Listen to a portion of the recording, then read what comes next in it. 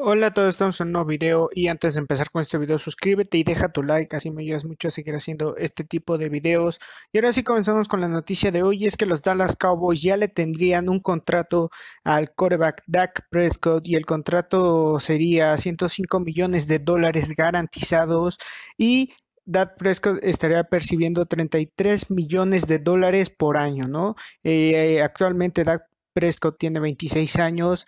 Los Dallas Cowboys sí están muy interesados en, firmar a Dak Prescott porque no lo quieren perder en la agencia libre. Los Dallas Cowboys pues también ya están aquí desesperados por firmar a Dak Prescott y bueno, ya le ofrecen este contrato de 105 millones de dólares y 33 millones al año, ¿no? Eh, obviamente, pues los Dallas Cowboys eh, están muy, muy estresados esta temporada, ¿no? Porque varios de sus jugadores estrellas son agentes libres.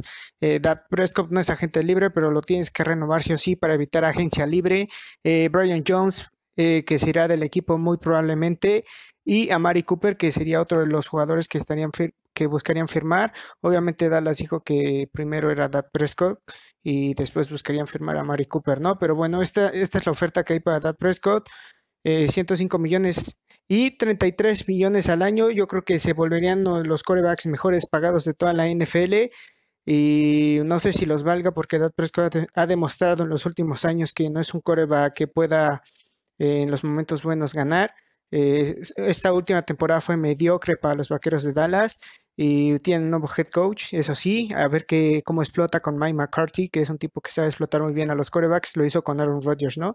Así que hay que ver qué pasa con Dad Prescott si acepta esa oferta, si quiere mucho más dinero, que yo creo que para Dad Prescott esta oferta es buena. Yo si fuera Dad Prescott, pues la aceptaría. Y bueno, tú dímelo, tú, dime en los comentarios qué opinas de esto, si, si es lo mejor para Prescott, si Prescott puede recibir más, si Dallas debe de dejar ir a Dad Prescott y intentar con intentar contratar un coreback en el draft o cambiar a Prescott a algún equipo que lo necesite y así conseguir rondas del draft. Así que ya sabes, suscríbete, deja tu like y hasta pronto.